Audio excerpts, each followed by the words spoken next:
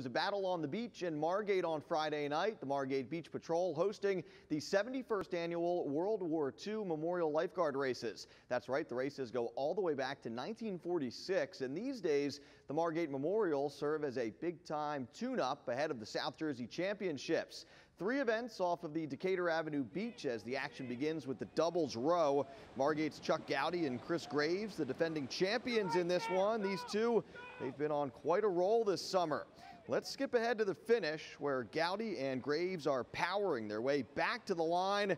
Gowdy and Graves win it for Margate, but a little scary moment here. They lose control of the boat, losing their balance. It flips. Look out. Both guys they pop up and they would be okay. Graves celebrates five team points for Margate.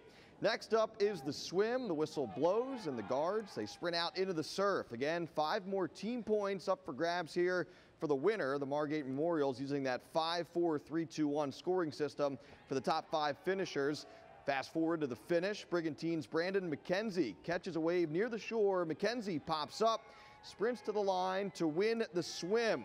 It's a tight battle for second. Ocean City's Glenn Lasco has the angle to edge out Joe Patrone from Avalon.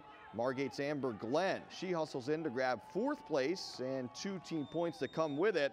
But Ocean City leads Margate by one point heading into the final race. So it all comes down to the singles row. This is Eric Wolf from Avalon. Wolf trying to win the singles in this event for the first time since 2013.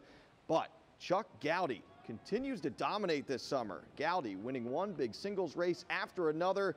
He keeps the streak going here. His first singles win at the Margate Memorials, and it clinches the team title for the hometown Margate City Beach Patrol.